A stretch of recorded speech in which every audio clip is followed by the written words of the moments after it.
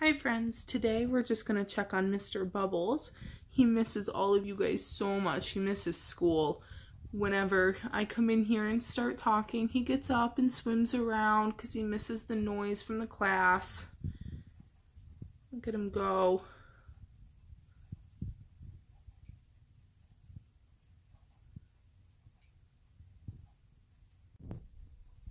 I'm going to give him some food. You can see him over here on the side. The side right here. Let's give him a little bit of food so he can eat.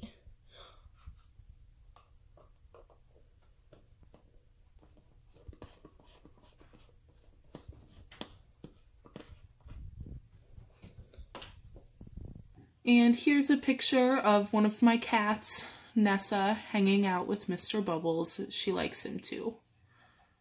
She's not mean or anything to him. She just likes to watch him and sit with him.